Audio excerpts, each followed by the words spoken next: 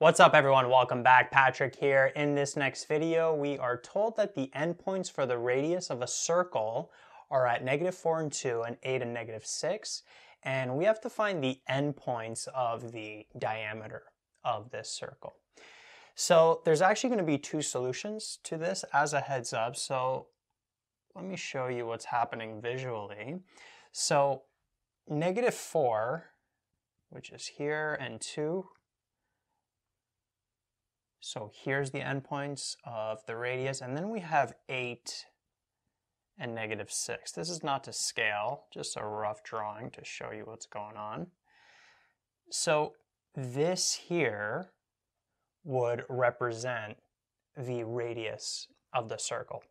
So notice in this case that the reason why there's going to be two solutions to this is because the radius can either, or the center of the circle can either be here or here, right? Whenever we have a circle, the radius is always from the center to one of the edges of the circle. So if we take this line here, let me redraw it here, just sort of zoomed out. Let's pretend it's the same line. Well, notice if this is the center of the circle, then the circle is going to look like that. And then the endpoints of the diameter is going to be here.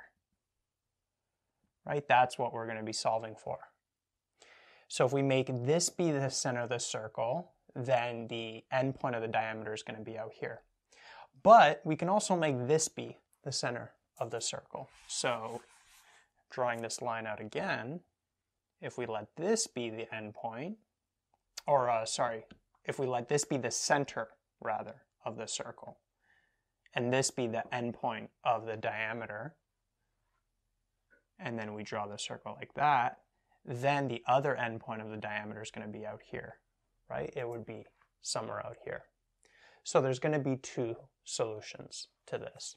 So let's uh, let's first do the case where this is going to be the center of the circle. So it's going to look like that, and then the other endpoint of the diameter is going to be out there. So if that's the case, notice that this is the endpoint, right, which is the negative 4 and 2.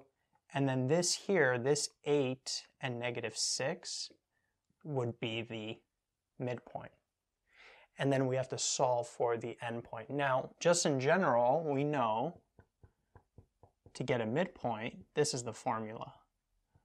We sum up the x values of the endpoints divided by 2, we sum up the endpoints of the y values of the endpoints and divide by 2. And so another way to write this is the x value of the midpoint is going to be x1 plus x2 divided by 2. Then the y value of the midpoint is going to be y1 plus y2 over 2. So we've done a question like this before where instead of given being given the two endpoints of a line segment, we're given the endpoint and a midpoint. And the way we worked with that question before, which I highly recommend you watching before watching this video if you haven't, is that we made a new equation here. So we cross multiplied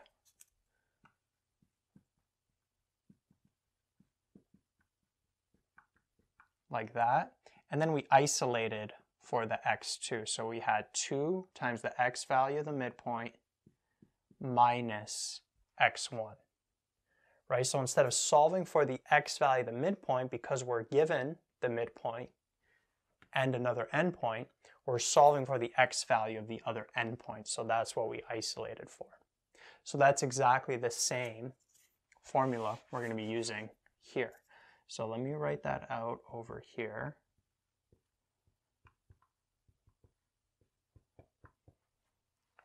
Right? That's going to give us the x value of that other endpoint that we're looking for over here. We're going to be solving for xy. Actually, this is going to be like x2, y2 to relate it back to this formula over here. And then this here is x1, y1, and then this is the x value of the midpoint, the y value of the midpoint. If we do the same thing with the y mid formula, we would end up getting y2 equals 2 times the y value of the midpoint minus y1.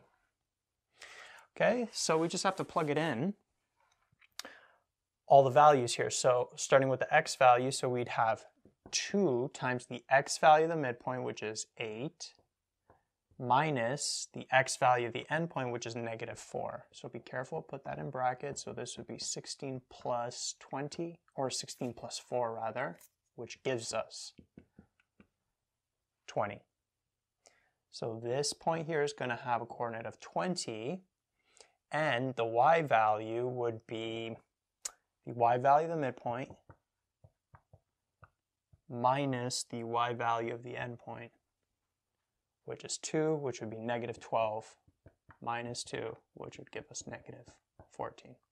So this point here would be 20 and negative 14, and then you could check your answer. You could take 20 plus negative 4, which would give us 16, divided by 2 would give us 8.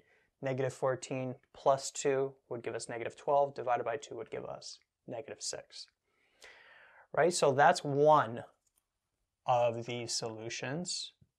And that's the case when we treat this as the center of that circle that we're looking at. But then we could also look at the other case where we're going to treat this as the center of the circle. So this would rotate like this, and then the other endpoint that we'd be solving for would be out here. And we would treat this then instead as the midpoint.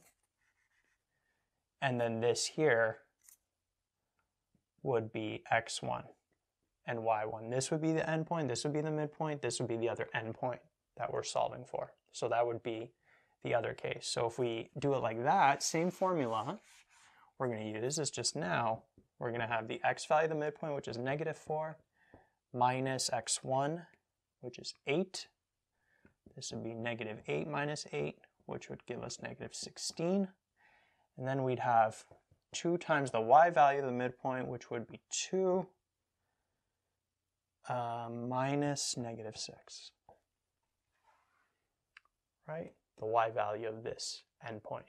So that would be 2 plus 6, which would give us 8. So the coordinate here would be negative 16 and 8 right here. And notice that these coordinates, they make sense, right? 20 and negative 14. Notice the x value is positive, the y value is negative. And then for this point, the x value is negative, negative 16, and then the y value is positive. Okay, so it's either this, that's the endpoint of the diameter, if this is the center of the circle, or it's negative 16 and 8 if we treat this as the center of the circle, and that's why there's two solutions.